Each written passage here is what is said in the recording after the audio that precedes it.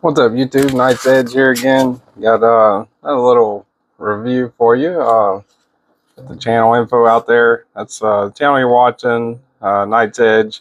Hit the like button if you like the video. Subscribe if you want more content like it. Really helps me out if uh, if you subscribe to the channel. Subscribing is free on YouTube.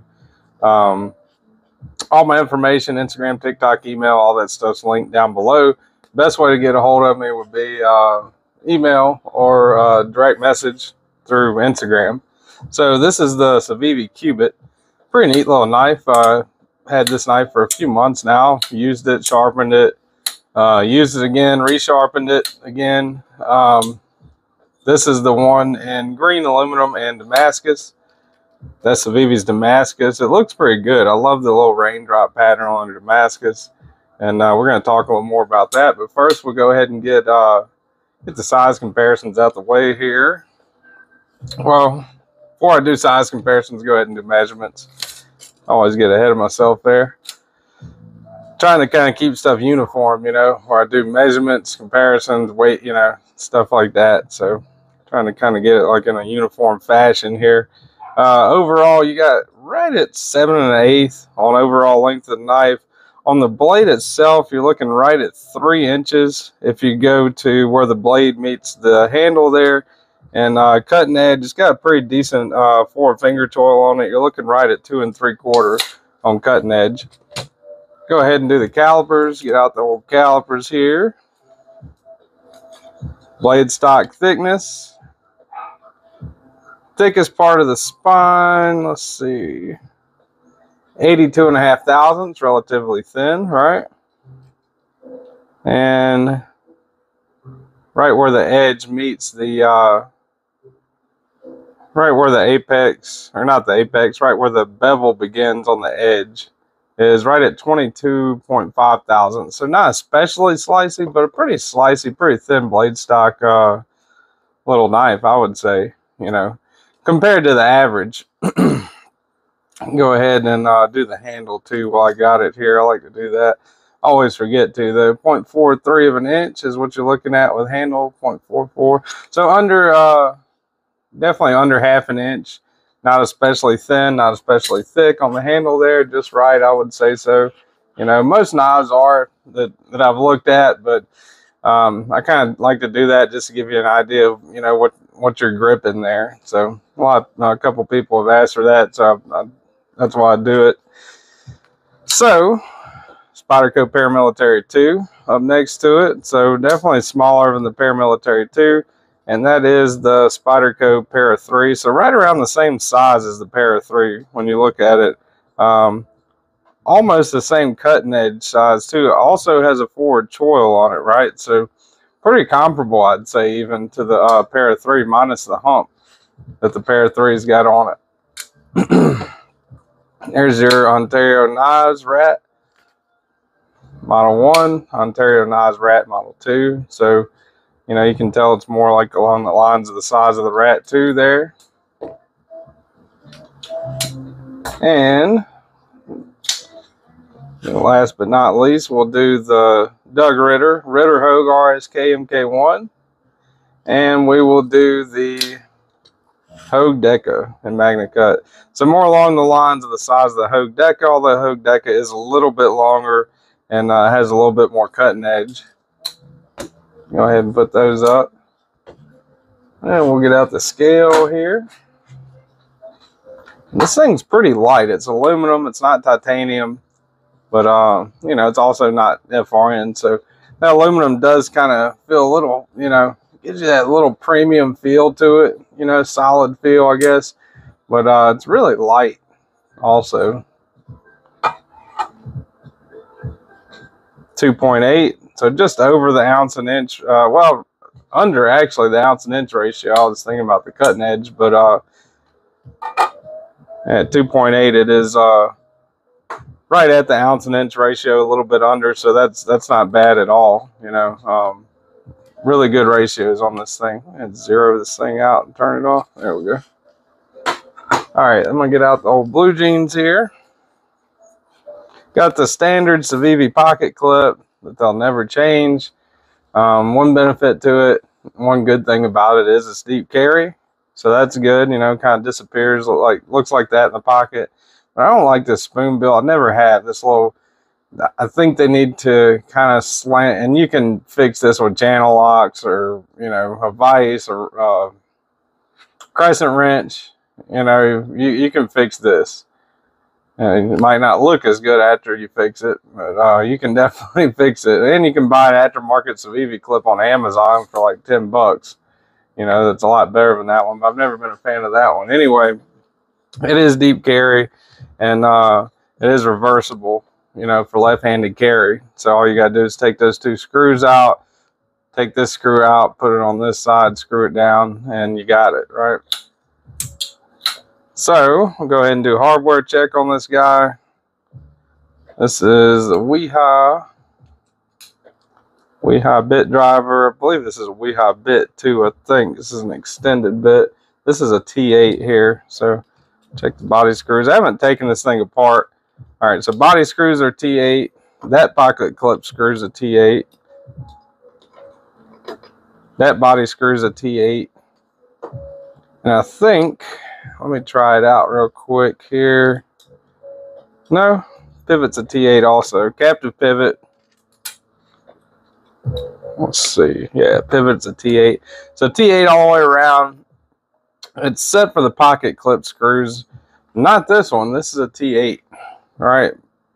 But these, I believe, I'm almost 100% sure. As a matter of fact, uh, Wiha bet this is a T6.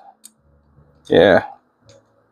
Yeah, so pivot screw T8, uh, body screws T8, but the uh, pocket clip screws are T6. And it's a captive pivot. So almost a home run with that. You know, kind of wish the, the other pocket clip screws would have been uh, T8. That would have been good, but you know, that's still you got a captive T8 pivot and uh, T8 body screws, so that's a good thing. All right, looking at the action on this guy, uh, I think we're through with the specs. Let me get into the action on it and everything. Uh, it really, really is smooth. I like this little knife. It's a good little knife. Uh, you can reverse flick the thumb stud like that. Uh, pretty good action. You know, plunge lock. Civivi's plunge lock, button lock closes. And once you pass that point, it disengages the knife, allows it to close. So if you hold the button in, it kind of loosely, you know, just hangs like that.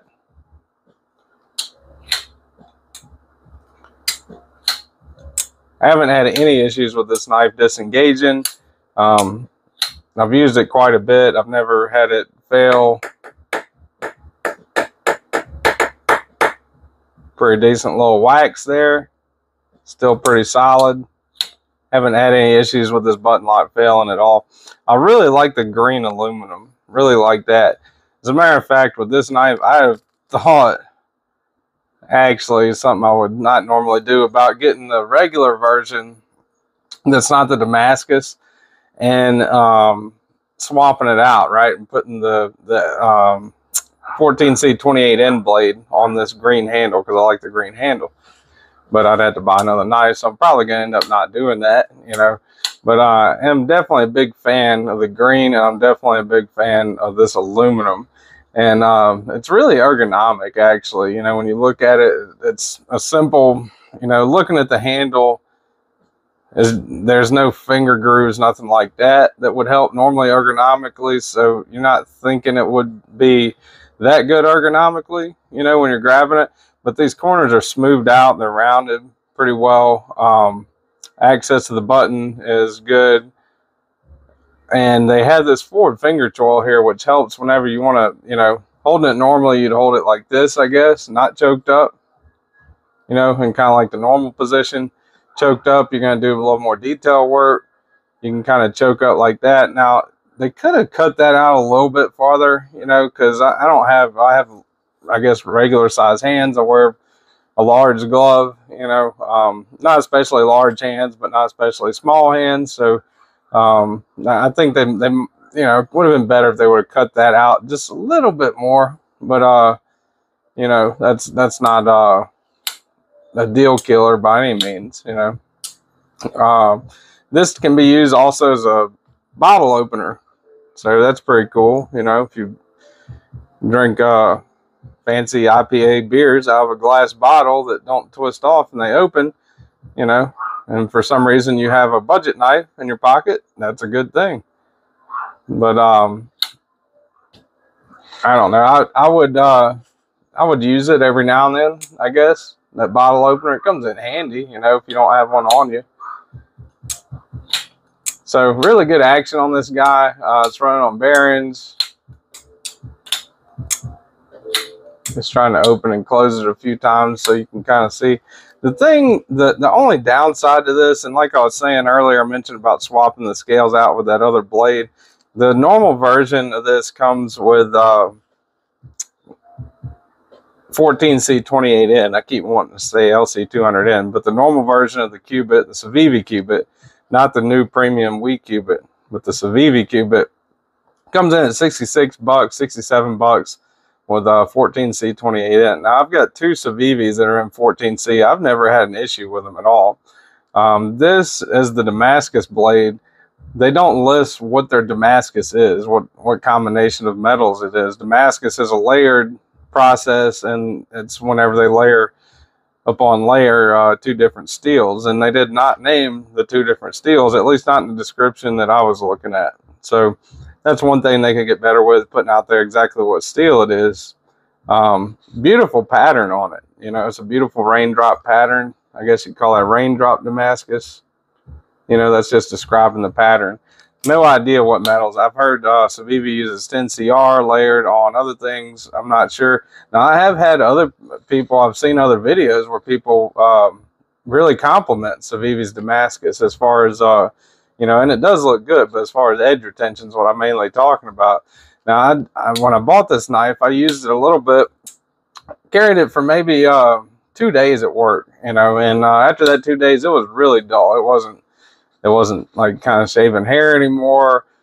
Definitely not cutting paper anymore. So I put it on the uh, KME and I sharpened it. And I put a 17 degree edge. This is actually still the same angle, but a uh, different grit. So I put a 17 degree edge bevel on this thing with the KME, but I went all the way up to 1500 grit. I'm, I'm hoping that's what was wrong um, and why it didn't hold an edge very much. But when I went up to that 1500 degree um, mirror mirror shine. You know, even after I put the 1500 uh, on it, I stropped it. I believe I made a pass with uh, with a lapping film actually too. So you could actually read letters, you know, out of the edge bevel on this thing. It was a mirror polish, mirror edge, and uh, used it, cut a little bit with it, maybe a few cuts, and I'm talking less than ten. You know, and this thing was dull. I mean, I if you watch my Sunday sharpening that I actually just did earlier, but it's going to be out um, on Sunday, and this review is probably not coming out till midweek. Go back to the Sunday sharpening; it's in my playlist. And uh, when I sharpened this thing, I kind of went over it a little bit, but it wouldn't even cut paper, you know. So now I've got it finished with a six uh, with a 600 grit, which is fine, but it's kind of you know medium.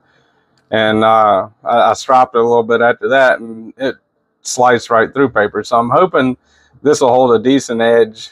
You know, maybe I just sharpened it to the wrong grit, and that might be the case. If not, I would highly recommend the uh, the 14C28N version of this.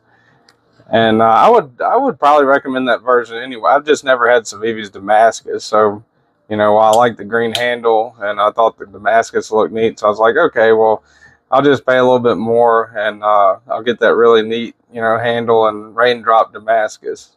And uh, this knife, other than that, I really don't have any negatives about it. I mean, it, it's reversible pocket clip, great ergonomics, good slicey little small knife, great button lock action, uh, reliable, you know, um, disappears in the pocket. It's aluminum, it's lightweight, but yet it feels premium like titanium. Only negatives would be the, you know, the T6 on the clip, the um, kind of spoon bill at the end Civivi clip that tends to grab stuff, and the Damascus, you know, not having as good a edge retention as I would like, but also, like I said, I could have sharpened it to the wrong grit and uh, that would explain that. So in that case, it wouldn't be a negative, right? So anyway, that's pretty much it. That's the Civivi Qubit. I'm going to link it down below. Uh, the Damascus version is 80 bucks. The 14C 28N version of it is, I believe, around 67 right now at the time that I'm making this video, you know. Um, but I'll link it down below in the description. So anyway, uh, good little knife. Overall, got a couple, you know, little issues with it, but I would recommend this one for sure. So this has uh, been the Knight's Edge, another video. Appreciate you guys watching, liking, subscribing, everything really helps me out. And I'll see you guys on the next one.